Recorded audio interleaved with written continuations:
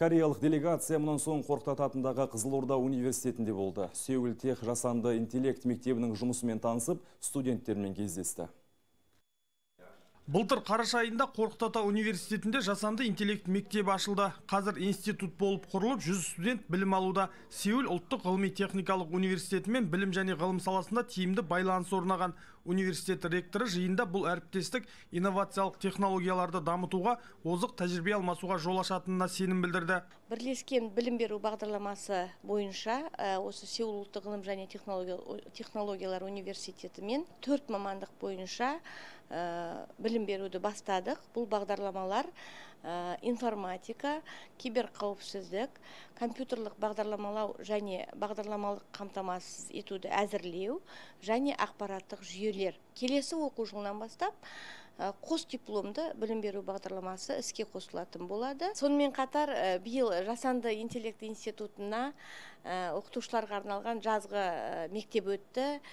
Білім ордасының 200-ге жуық профессор оқытушылары 72 сағат бойы теориялық және практикалық білім алып меңгерді тараптар жасанды интеллект киберқауіпсіздік және информатика бойынша жоғары білімді кадрларды дайындау жайына тоқталып екіжақты бірлескен жобаларды талқылады. Жиында увоншик университет ұжымына алғысын білдіріп өзара тиімді әріптестікті әрі қарай нығайтуға ниетті екенін жеткізді. Мұнан соң оқу орнының құрметті профессоры алғашқы білім алушыларға дәріс оқыды.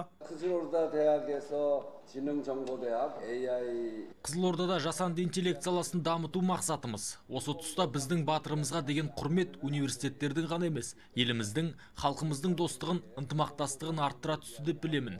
Сіздер де ғылымды терең меңгеріп, мықты маман боласыздар деп сенемін. сабақтар ағылшынша өтеді және қосымша корей тілінде кейінірек кореяға оқуға баруға мүмкіндік бар осы сеул техтің арқасында бізді тек екі тілге ғана емес үш тілге үйретеді ағылшын және корей тіліне Келесі оқу жылынан бастап Сеултех пен қос дипломды бағдарламалар бойынша оқыту басталмақ. Сеултех тарапынан зертханалық класстар ашылып, дрон жинайтын инженерлер даярланады. Студенттер қазақ орыс тілдерінен бөлек ағылшын корей тілдерінде де білім алады. Асқар Тәжиев, Рамазан Жүсіпбек, Төрехан Қожахметов, Қызылорда телеарнасы.